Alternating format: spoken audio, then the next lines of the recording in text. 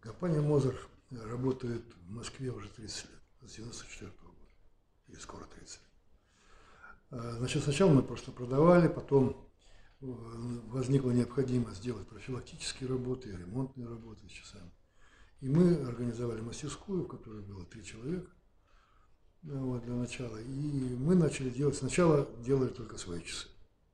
Обслуживали, ремонтировали, э, делали предпродажную подготовку. Но в последующем, э, поскольку значит, появилась потребность уже делать более серьезные работы, к нам стали приносить э, другие часы, то есть антикварные часы какие-то очень, музейные вещи или других компаний, особенно когда это продают мебельные компании, они их не обслуживают часы зачастую. Мы говорим о интерьерных часах, больших, напольных, настольных, настенных и так далее.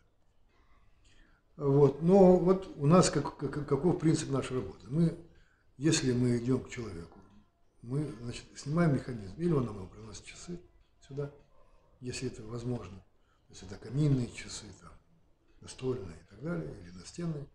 Мы забираем механизм только в ремонт, и э, в течение там, 7-10 дней мы эту работу проводим. И, значит, э, уже в магазине, там, в течение еще 3-4 дней мы проводим э, проверку, установку точно, на точность регулировки.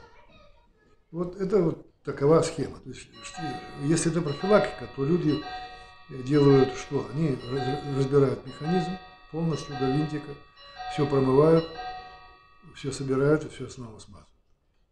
Потому что за 5-10 лет накапливается уже достаточно много э, густой смазки.